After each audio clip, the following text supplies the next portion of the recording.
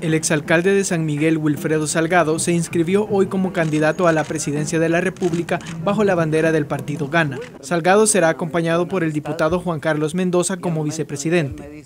El candidato se refirió a las propuestas que hará de cara a la presidencia.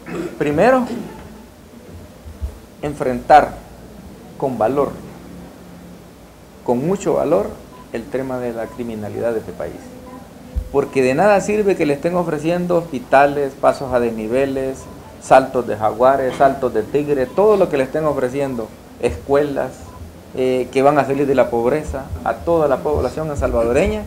Si mañana usted sale a buscar trabajo, no sabe si lo van a matar. Mañana sale usted a buscar trabajo, no sabe si va a estar en la lista de desaparecidos. El pueblo necesita primero seguridad.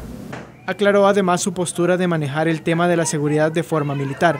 He hablado de manejar el tema de la seguridad de forma militar, con disciplina militar y con lineamiento militar. Pero esa es una palabra muy sensible todavía en nuestro país, tomando en cuenta la historia. Sensible para los que no están poniendo la sangre y los muertos.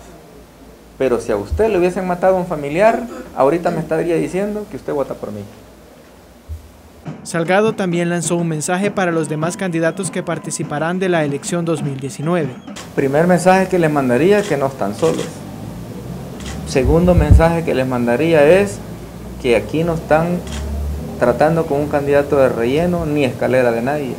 Están tratando con un candidato que les va a luchar y que les va a combatir a todo, a todo vapor eh, en la campaña. Hasta el momento, él es el único candidato inscrito para participar en la elección interna del próximo domingo 29 de julio, aunque la inscripción cierra hasta las 12 de la medianoche de este 25 de julio. Informó para la prensa Carlos Hernández.